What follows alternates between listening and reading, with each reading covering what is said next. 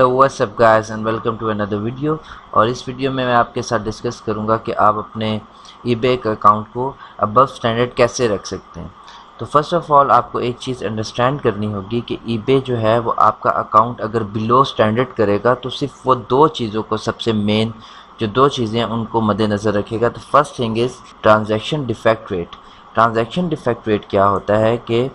Transaction defect rate में दो चीज़ें होती हैं transaction, you cancelled for being out of stock. Cases closed without seller resolution. मिसाल के तौर पे, अगर आप आउट ऑफ़ स्टॉक चले जाते हैं और आप अपनी प्रोडक्ट जो है वो डिलीवर नहीं कर पाते और आप अपना ईबे का ऑर्डर जो है वो कैंसिल करते हैं for being out of stock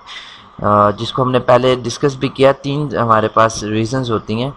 तो अगर आप बीइंग आउट ऑफ़ स्टॉक अगर करेंगे तो अगर आप टू परसेंट से ज़्यादा ऑर्डर्स कैंसिल करेंगे मींस हंड्रेड में से दो ऑर्डर्स कैंसिल करेंगे for being out of stock तो आपका अकाउंट बिलो स्टैंडर्ड चला जाएगा। और ईबे क्या करेगा? आपके ऊपर दो रिस्ट्रिक्शन लगाएगा। पहली रिस्ट्रिक्शन कि आपकी लिमिट्स इंक्रीज़ नहीं होंगी अमाउंट में और आइटम्स में, और सेकंड आपका अकाउंट जो है या तो आपको वो सेल करने से सेलिंग करने से रोक लेगा। और फिर सेकंड चीज़ है, वो है cases close without seller resolution मिसाल के तौर पे अगर आपके ख़िलाफ़ कोई केस ओपन होता है like item not received case या item as not described case और आप उसको जो अपना बायर है, उसको इंटरटेन नहीं करते सही तरीके से और वो ईबे के पास चला जाता है और कहता है कि सेलर ने मेरी कोई मदद नहीं की और सेलर ने मुझे ये रॉन्ग आइटम भेजा और उसके बाद भी सेलर मुझे रिफ़ंड नहीं कर रहा या मुझे रिटर्न लेबल्स नहीं भेज रहा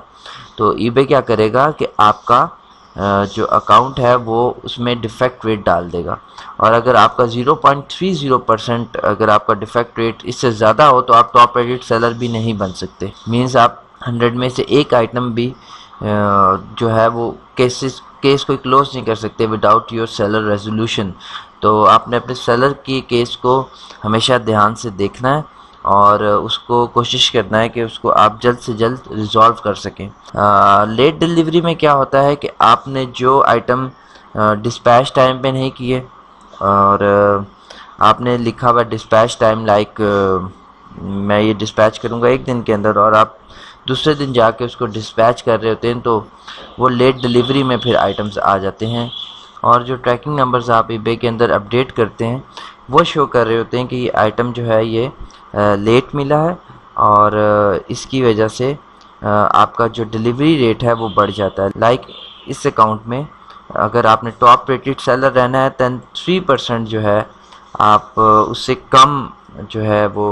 लेट डिलीवरी कर सकते हैं और ये नीचे लिखा भी है if you dispatch on time and upload a validated tracking number or your buyer tell us their items were posted on time when they leave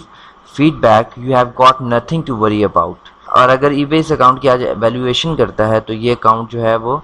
top rated seller ही होगा बिकॉज़ इस बिकॉज़ इस अकाउंट ने काफ़ी चीज़ों को maintain रखा है।